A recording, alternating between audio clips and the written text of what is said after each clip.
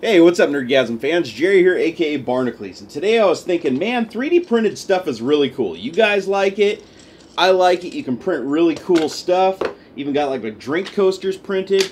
Um, it's pretty much infinite possibilities. So I was thinking to myself, I was like, man, what could be better than owning a 3D printer? Owning two 3D printers.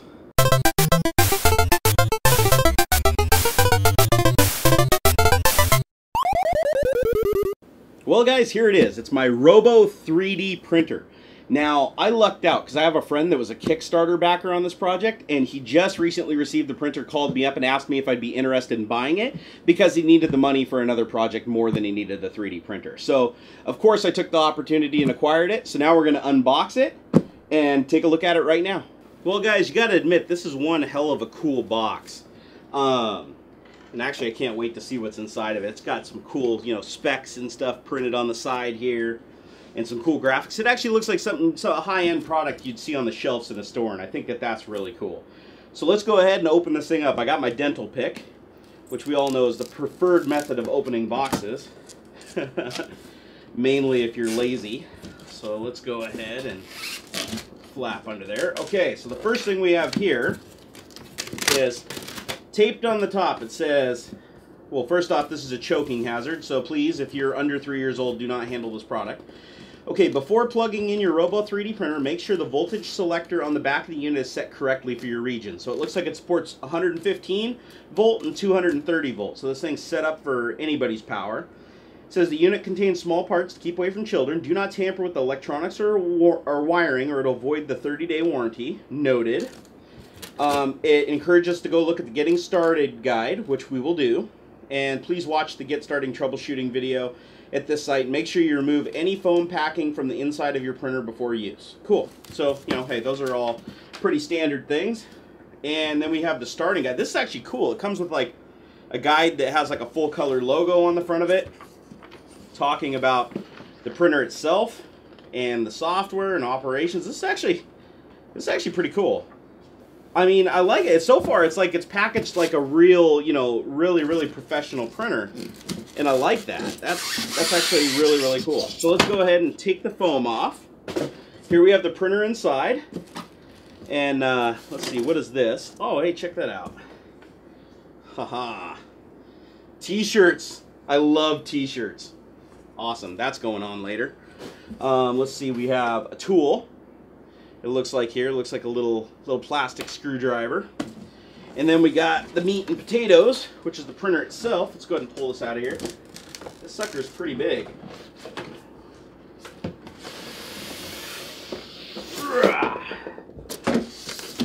Okay. Go ahead and move this out of the way. Um, looks like the whole thing is packed in foam. We've got some sample material. That's cool.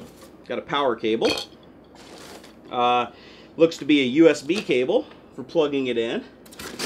And now I think we just got to remove all the foam. Oh, another tool got loose. I think what happened was in transport, this got opened up. I think this actually held all the tools. Um, so, damn you FedEx, you bastards. All right, so let's go ahead and throw that over there. Got some more foam over on this side. That just came out. Is there anything in there of interest? Oh, we got a bag on the top here. Oh, here's the other half. I found it. Found the other half of the container that held the tools and stuff. At least I suspect it did. And not quite sure what we have here. This is uh, all right, honestly, I have no idea. Whoa, already trying to break stuff. I have no idea what this is. It looks like an acrylic cylinder that's threaded. We'll have to do some research on that. Um, that's garbage. All right, and of course we got the foam here on the bottom. Oh, this came off. Huh. This looks like, uh, oh, it's just got the, it's got the logo on. It's like a side plate that you can put on there so you can run the printer sideways and people still know what it is. Oh, we found another tool and another screw right here. So, so far we've got a couple different Allen keys, got a couple extra screws. And they all came sealed in this case, but it just came it just came apart in transport. All right, so let's get rid of the foam there. And here is the printer. And it looks like we've got more foam down under the build platform. All right, let's turn it around. Looks like we have some more foam under here. Well, I must say it's packed really well. I mean, it, it, it was really packed decently. And uh, that I definitely appreciate. So here we go. Here's the printer. Let's go ahead and put it back up on the desk and take a closer look at it. Alright, so here we've got the printer out of the box, and I noticed that it works a lot different than the Ultimaker does. Like, for instance, the Ultimaker, the print head moves, does all the movement, and the platform just moves up and down. This is actually kind of opposite. The platform itself moves. You can see the platform goes back and forth. And the print head moves up and down and left and right. So it, you know that that no doubt attributes to some of the speed because of course you know you have a lot more weight and a lot more stuff to move around so you can't quite go as fast um, the other thing that's cool is this has a heated build platform which is something new and i haven't used before so i'm really excited about that and i also noticed that the extruder here on the top looks like it feeds the filament right from the print head whereas on the ultimaker that it actually feeds the filament off the print head to it uh, so it's it, it's it's really a completely different design. So I'm excited to see how it works. Um, but the build quality looks cool. I mean, it's it's it's a giant uh, piece of plastic that's all formed that has the logo and everything on it, and that's pretty cool. And it feels, I mean, it feels solid. It doesn't feel like cheap plastic at all. And if you flip it over, you have the power supply right here and all the motors and the brain and all that stuff. And it actually looks like it's pretty tidy how it's put together. The print I just, I just sent the print head to the top of the thing. And it looks like the print head moves up and down using these worm drives here and it looks like each one's connected to a stepper motor from both sides and then these are this moved back and forth with a belt it's actually, it's, it's a really unique design. Now, the first thing I'll notice is it does have a pretty big footprint um, compared to the Ultimaker, because you do have to have enough clearance for this to come out about four or five inches out of both sides, which honestly isn't too bad. Um, but the wiring and everything on it looks clean, and honestly, it's one of those things where, I mean, if, if speed isn't a huge concern to you, um, something like this, I mean, should be a good alternative because you save a lot of money going this route. Uh, but you just the but really the only thing you're losing is maybe some speed and maybe a little detail but that's yet to be determined. So we'll have to hook it up and try it out and we'll do that in the next couple of videos. But i just wanted to get this thing unboxed and have a look at it because i was just antsy tonight. I had to see it guys.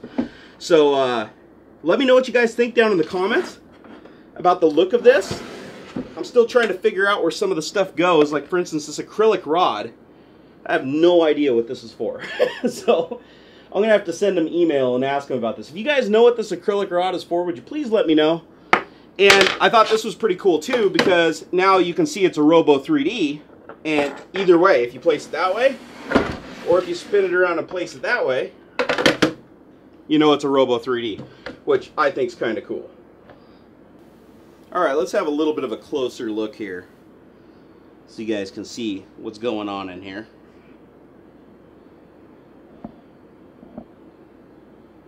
I, I really like it so far.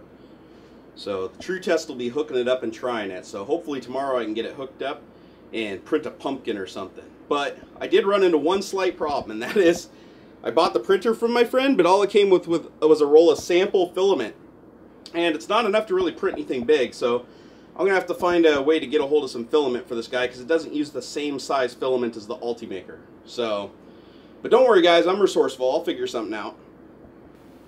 Hey guys, I was able to figure out what that acrylic rod was for after all. Check that out. It actually screwed onto that plate and that's for uh, holding your spool. That's pretty cool, so you can put the spool on either side. Alright, and there it is sitting right next to the Ultimaker. You can see the Ultimaker has quite a bit smaller footprint. Um, but luckily my bench actually clears the wall nice, so I'm going to set that right there and put the spool on the side. And uh, that's going to work really cool. So that is a cool sight right there, guys. That is cool. So keep an eye out for future videos. I'll be testing out the Robo 3D over the next couple days. Um, and I'll also be installing the dual extrusion kit on the Ultimaker. So lots more 3D in the future, guys. So keep an eye out. Hope this video gave you a nerdgasm. If it didn't, check your pulse. All right, take it easy, guys, and until next time. I really hope you enjoyed this video. If you did, please like, favor, and subscribe. It helps me a bunch. Also, come follow me on Facebook and Twitter. I love interacting with you guys.